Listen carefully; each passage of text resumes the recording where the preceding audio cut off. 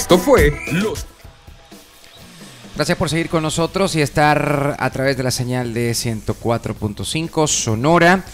Y saludando a toda la gente también que nos está viendo a través de YouTube y Facebook, que son muchísimos, y nos dejan sus comentarios. Un fuerte abrazo para todos ustedes. Vamos a hacer un ejercicio ahorita, eh, tomando en cuenta que ya para dejar los últimos coletazos, dijiste vos, ¿verdad, Lisandro, hoy al inicio del balón de oro. del balón de oro. Y un ejercicio también para, para que tengamos eh, esa dosis de, pues sí, de nuestros comentarios y, y de humor también. Y eh, les mostramos el WhatsApp a todos ustedes porque nos gustaría saber cuáles son, escuchen bien, su top 5 si ustedes tuviesen que votar en el balón de oro. Porque también ha salido mucho a la luz el tema de Bruno, ¿verdad? El, el colega Porcio, ahí de su votación en el balón de oro y la no inclusión de Vinicio en el top 10. Ahí está el teléfono 7283 2568. Si no lo tienen, anótenlo. De nuevo se lo dicto así despacito para que lo anote. 7283 2568. Ahí nos pone los ex, que no lo vaya a regañar la esposa, o ponga los ex del fútbol, ¿no? O no le va a poner ex. Si no le va a poner la ex. Sí, Sí, la ex, porque después lo van a regañar. A ver, eh, comenzamos. Si vos tu- tuvieses la oportunidad de, de votar en el Balón de Oro y, y para esta ¿Top 10 o top 3? top 5, Top vamos a hacerlo, cinco. top 5, top 5 para hacer eh, buena onda. Aquí voy a anotarlo. A ver, Emiliano, Jude. el primero, Hey Jude, Jude. Bellingham. Hey Jude. Ok. El segundo, tu segundo lugar, Rodri. Rodri. Eh, para mí Rodrigo y después Vinicius. Tercero Rodrigo y después Vinicius.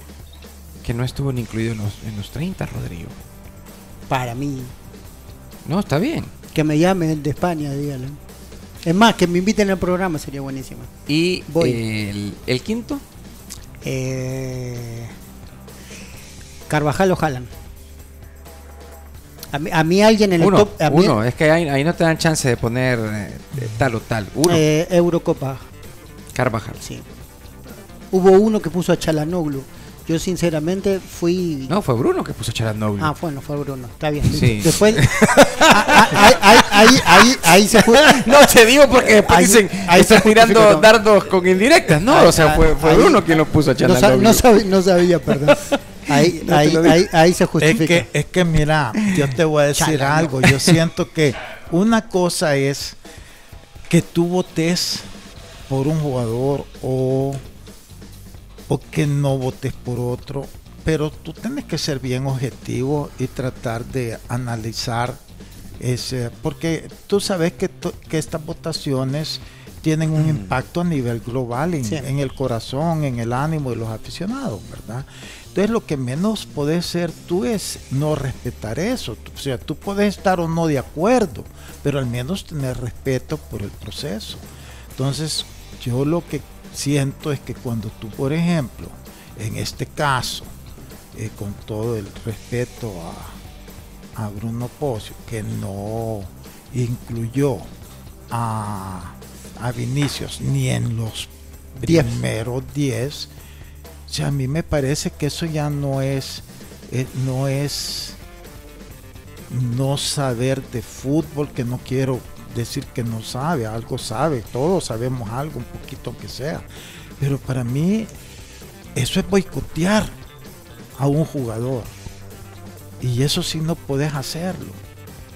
Porque eh, si tú estás en séptimo, a lo mejor yo no sé cuántos puntos te dan por el primero y por el ser el décimo, pero, pero perdió por dos puntos, pudo haber sido este el balón de oro por esos dos puntos. Que, que vuelvo y repito, pues yo no se lo hubiera dado a él, pero si la mayoría al final termina la votación y la gana, pues se lo mereció y tenés que aceptarlo. Sí. Pero, pero cuando tú eh, pero hacer lo que hizo él es como boicotear a un jugador y eso a mí no me parece correcto. Creo que ahí es donde él se equivoca y, y bueno, ya solo él sabrá pues sus explicaciones, porque yo lo que escuché como explicaciones de él no me hizo ningún sentido. Y yo creo que a nadie, porque este, vuelvo y repito, yo no hubiera puesto a Rodrigo a, a Vinicio, pero no lo dejo excluido. Para mí estaba y, y voy a aprovechar para darte los cinco míos. Sí, adelante, Lisandro, a ver, los cinco tuyos. Para mí, primer lugar hubiese es sido. Rodri, ese sí lo ganó. Para mí Carvajal. Para mí. Vinicius. Vini. Ajá. Después Podio, podio para Vinicius. Haaland. Ajá. Y ya el quinto no. Toro, el toro. Li- eh, Martínez. Lautaro. sí. No A, a- mí me quedó flotando en el 5 también, pero, pero la verdad que vi, vi mucho más la liga inglesa que la italiana, así que no.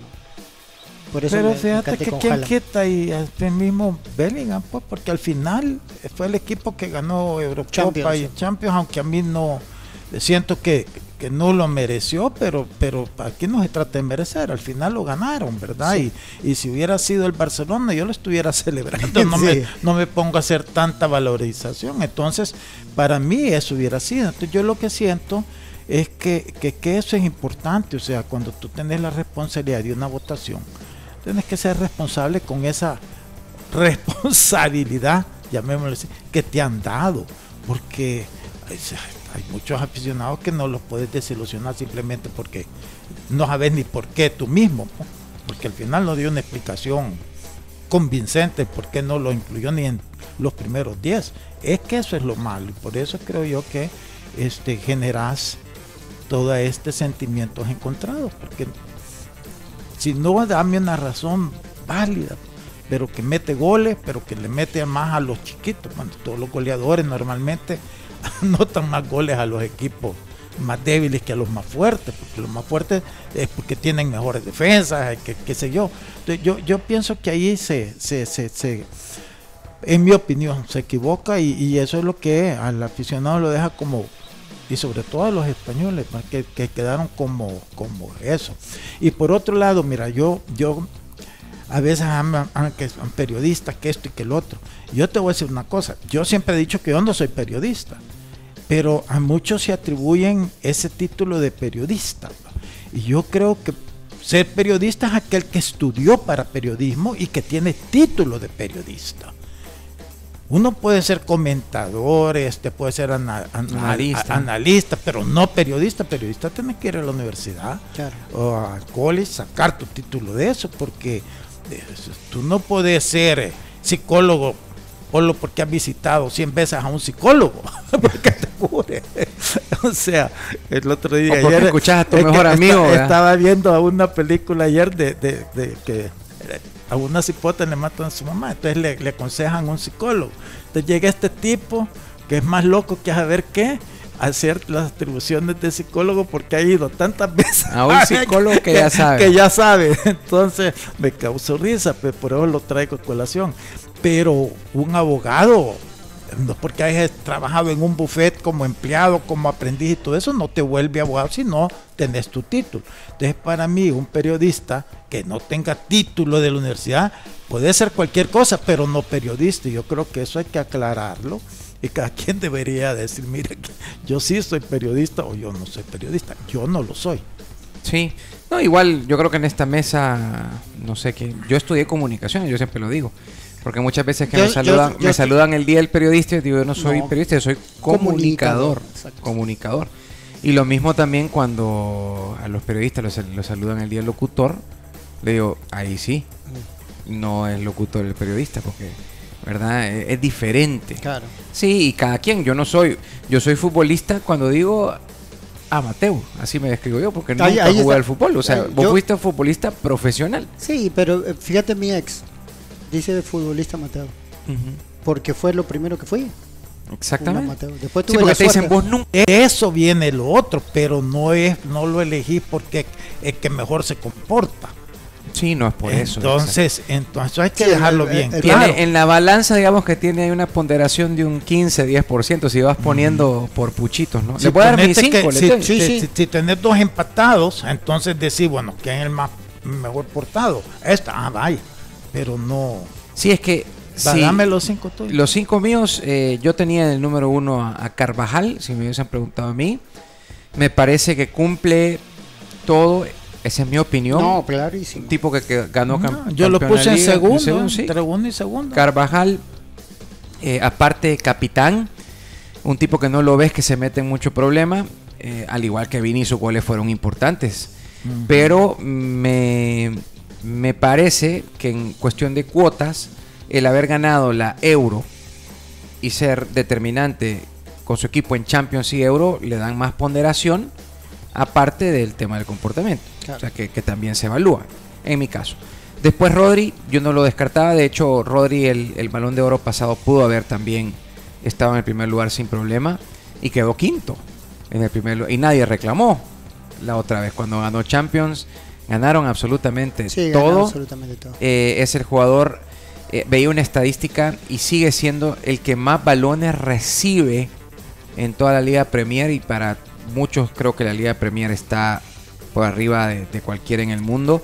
El- el- la toma de decisión que tiene es, es impresionante, pero bueno, ya Rodri lo pondría en segundo lugar. Para mí, en tercer lugar, dejo a Vinicius. Me parece que es un jugador muy desequilibrante, eh, un tipo que te puede cambiar un partido. Y me, me cuesta porque también, así estaba como vos, el tema de, de Bellingham Haaland. Eh, me cuesta porque Bellingham me parece que tuvo un impacto inmediato en el Real Madrid a su llegada. Sí. Un tipo que, que cambió la dinámica del equipo, que aportó mucho en asistencias, que aportó mucho en goles. Y Y aparte, goles decisivos de último minuto que le daban la victoria al Madrid. Sí, como, exacto. como en el clásico, en partidos tan, tan globales como Y el lo clásico. otro, lo otro de Bellingham, por es que te digo que estaba, que llegó a la final de la Euro. En selección también, ¿te acordás que hace el gol de, de chilena? Es un jugador determinante. Entonces, por eso, eh, cualquiera de los dos puede estar ahí. Y eh, Haaland, que me parece que sigue aportando muchos, muchos goles. Ese sería mi top 5. Pero bueno, a, a Vini, a- sí, a Vini lo incluyo. Me parece que es un, Podio. es un gran jugador. El Podio, podio tiene que estar y es por eso que por dos puntos, y la verdad que la diferencia es, es mínima, ¿no? Y se sigue sintiendo también el, el desenlace que no fue el, el querido por los españoles. Yo ayer veía también y se seguían reclamando entre unos y otros de que cómo es posible de que los españoles estén luchando más por Vinicius que alegrándose más por Rodri. ¿sí? Y eh, estaba viendo una firma de relaciones públicas, leí un artículo hoy que ha bajado porcentualmente la imagen del Real Madrid por no haber acudido el lunes.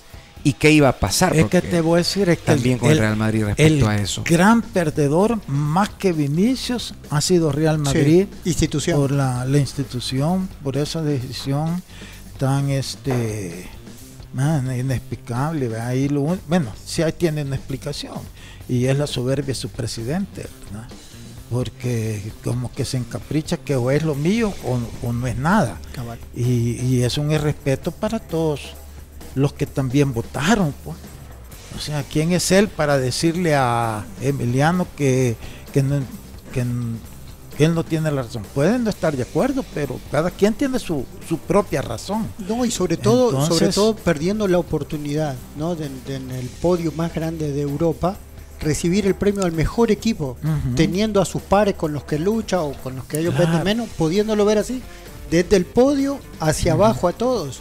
y, y decidió no primero no ir y segundo actuar o, o tener un discurso de la forma que lo tiene. Es, no, no sé si reprochable, pero, pero es inexplicable. para mí es reprochable porque se llevó a toda la institución De por medio. eh, de por medio y la imagen como dice Kevin eh, del Madrid a nivel mundial todos lo han criticado no ha habido alguien que no haya eh, eh, eh, estado a favor nadie está a favor de esa decisión eh, y lo viene a posicionar a él eh, eh, con una imagen que la gente que lo conoce sabe que él es así este pero ahora sí ya le dio armas al enemigo de esa de ese comportamiento eh, tan Sí. eh, autoritario que él tiene para manejar porque no permitió que nadie fuera es más eh, estaba leyendo de un periódico español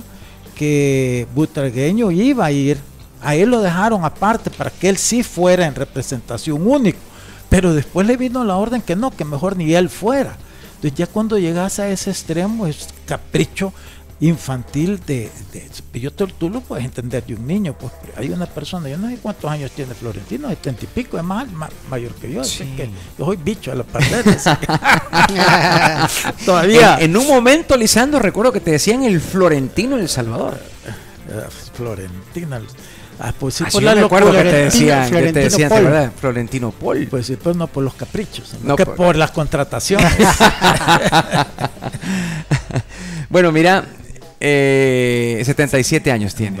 A ver, eh, vamos a leer algunos de los comentarios que hay, también de los WhatsApp que nos están cayendo. La gente está participando y agradecerles a todos. Mira, dicen por aquí, les saluda eh, Denis Díaz de Zacatecoluca. A ver, yo pongo en el top 5 uno a Rodri, 2 Haaland, eh, Lautaro en el tercer lugar, Carvajal en el cuarto y Lamin Yamal en el quinto. Y el próximo año dice lo gana Lamin Yamal. Ah, bueno. Vamos a ver, Vamos a ver. También, mira, eh, no se engañen, eh, también hay varios comentarios con el tema del águila. El águila está eliminado, ya clasificó en Honduras Motagua, aquí no le gusta a mucha gente que está en cabina. Están haciendo con la cabeza así. Eh, Águila, va a jugar 20 minutos bien y después la ventaja es grande. Yo no me engaño, creo que Águila no. Este, la lógica dice que el Motagua pasa, pero ojalá que el Águila haga un buen partido. Otros que nos dicen por acá que ellos también coinciden que no meten a Vini ni en los 10. Bueno, respeto ahí la opinión. Sí, Roberto que dice que se queda con Carvajal, con Rodrigo y con Bellingham. Bellingham también era buen candidato. Yo, lo veo como, como, uno de los que hizo mucho mérito para estar. Saludos también a, Orestes, que dice por acá, sos comunicador que hace periodismo, en este caso de opinión. Gracias Orestes, sí, porque yo lo digo y lo repito, yo no soy, no soy periodista, soy comunicador. Pero bueno, así las cosas entonces con el tema del, del balón de oro. Vamos a ver también cómo le va al Club Deportivo Águila. Que por cierto no hemos puesto la fichita del Club Deportivo Águila. Quiero saber cuál es la fichita de Lisandro Paul para el partido de hoy y por qué. Mira, yo pensaría que es difícil, va. Es que uno quisiera, al final, uno quisiera, vos decís. Mira, yo pienso que Águila puede ganar el partido, pero no estoy diciendo con esto que va a clasificar. Porque tú puedes ganar 1 a 0, 2 a 1, y este, eso sí lo puede hacer Águila, ya le ganó al Olimpia, porque no le puede ganar al Mocabo. Pero ahí lo dejaría, o sea, ya pensar en clasificar, pues ojalá que lo haga por el fútbol salvadoreño, pero ya es otra cosa, pues allí más queda en el deseo de que eh, en un pronóstico, pero en que ganar sí puede ganar un 1 a 0, un 2 a 1, este sí lo puede hacer. Emiliano Pedroso. Si, si sale el, como, como la formación que se dijo aquí en, en el aire, si sale con Rafa, gana 2 a 0 y pasa por penales. Muy bien. Espérate que en los penales es mejor Benji que, que Rafa, es más. Y bueno, Yo lo dejaría a último momento. Si se van a los penales, el último minuto, cambiarlo. Y si juega Benji, gana 2 a 0 y pasa por penales. Lo mismo. Bueno, a ver, a ver cómo va eso. Eh, yo, igual que vos, Liceo, quisiera que ganara Águila. Pero. Tal vez va a ganar eh, un 2-1. Pero no significa que va a pasar. Yo creo que Águila lo gana. Ojalá que, estén finos en defensa. Que la defensa vuelva a ser aquel, aquel muro, aquel muro de los primeros, de los primeros partidos de la temporada. Y sabes que hemos dicho que es importante el apoyo de la afición. la afición tiene que, presentarse al estadio, apoyarlos, que no pueden dar nada por vencido, mira. Y a veces son las, los resultados o los objetivos cuando se logran así en extremos son los que más disfruta uno. Entonces que no se priven de esa oportunidad que si llegaran a pasar se van a lamentar de ahí hubiera estado. Muy bien. Al menos no sé, nuestro productor va a ir. productor, solo que no, no, no, no dieron permiso. Está, de capa, pero no de capa caída. Pero no nosotros, no nosotros, que conste. No a ver quién no le da permiso y vamos a averiguar. vamos a averiguar quién es. Para mañana les tenemos la noticia. Bueno, mucha suerte para todos los del Club Deportivo Águila. También recordarles que desafíen todos los terrenos y conquistar el camino a tu manera con la AKT TT200 y la TT200 Adventure. Las encontrás en almacenes Tropigas y también desde hace 118 años salvadoreños latimos al ritmo de dos corazones, uno para vivir y otro para brindar con el sabor de lo nuestro. Pilsener, Ha sido un gusto enorme. Nos encontramos próximamente, mañana a las 12 del mediodía, acá en Los Ex. Hasta pronto. Esto fue Los Ex del Fútbol, el programa con el mejor análisis del fútbol nacional. Síguenos en nuestras redes sociales como Los Ex del Fútbol.